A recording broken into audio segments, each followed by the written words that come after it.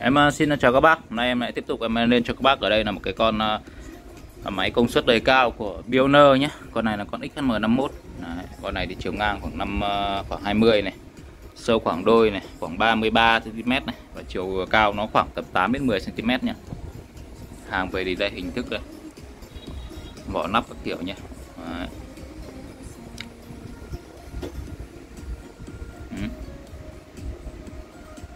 Đấy chưa XHM51 Con này là hàng điện 100V nội địa Nhật các bác nhé. Các bác lưu ý cho em là đừng có cắm nhầm điện nhé. Này. Con này là hàng uh, sử dụng điện nội địa uh, Nó sử dụng cho uh, cho nội địa Nhật đến điện nó sẽ điện 100V nha các bác lưu ý cho em nhé. Sử dụng ở nội địa Nhật thì nó là điện 100V nhé. Đấy thì đây em bán con này là chủ yếu là bao trẻ công suất để về cắm điện thoại máy tính nghe nhạc này. Đấy. HM51 này đời này nó sẽ có cả đọc USB và có cả Bluetooth nữa nhé rồi có cả CD thì tôi CD thì bỏ qua đi bữa lâu lắm rồi nhé các bác bỏ hẳn qua cho em CD đi. Đấy. CD em test thì hiện tại là cũng đang không đọc nhé thì còn bác nào cần thì về phục hồi CD làm gì thì, thì làm nhé XM51 Dionia Đấy. Đấy. công suất vẫn đang chạy bình thường nhé con này thì mình về có thể là ghép một đôi loa bát khoảng 11 12 đổ về à, để nghe nhạc các bác nhé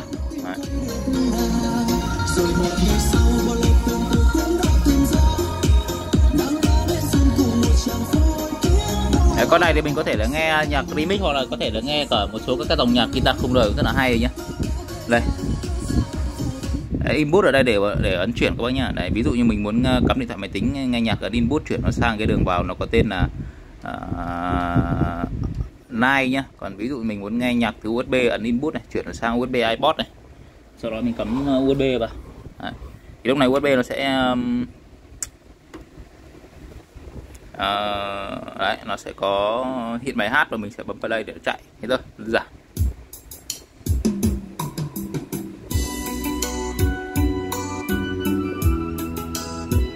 Ok ạ đấy. Đấy, tiếp theo là Bluetooth này mình sẽ input là chuyển nó sang đường vào là BT audio này. Ấn qua mất rồi ảnh ờ, từ từ thôi nhé. Ảnh đến BT audio này. Thì lúc này mình sẽ uh, thấy là nó sẽ tự pairing lại này. Lúc này mình sẽ dò dò Bluetooth nhé. Và trong quá trình dò thì mình sẽ dò được cái, một cái thiết bị nó sẽ tên là uh, HM51 XHM51 thì ờ, nói chung là tùy theo cái sự nhanh chậm của từng máy thì ờ, sẽ có máy nó dò được ngay, có những cái máy nó sẽ dò mất hơi, mất thời gian một chút để nó tìm thấy cái thiết bị đấy nhá. Thì các bác ờ, hãy kiên nhẫn tìm, được không ạ?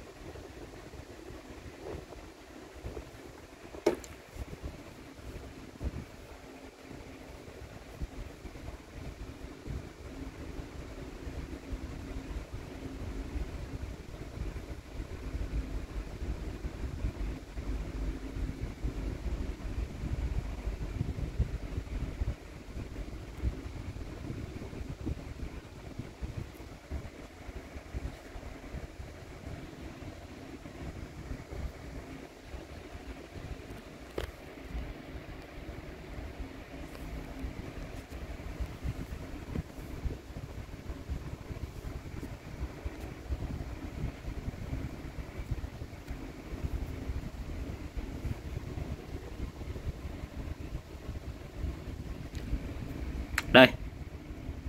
XM51 nhá. Đấy, con điện thoại này nó tìm cái bluetooth này hơi bị đầu các bác ạ. Trở xuất vào ruột. Đấy. thì mình sẽ kích vào là lúc này nó sẽ ghép đôi này.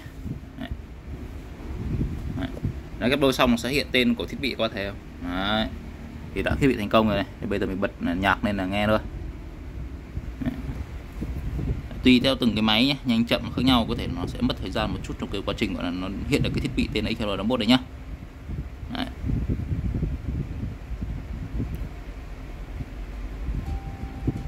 Đấy, có tiếng các bạn thấy ạ?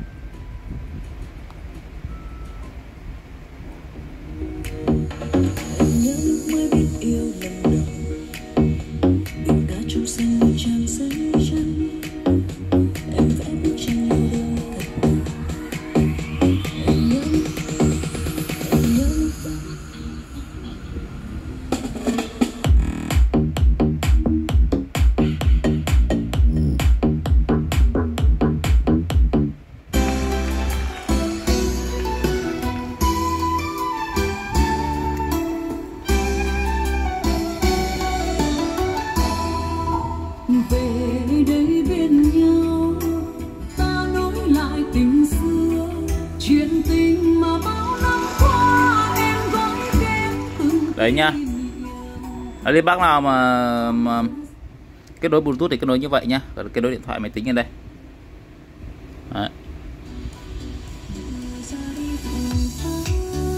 ok chưa?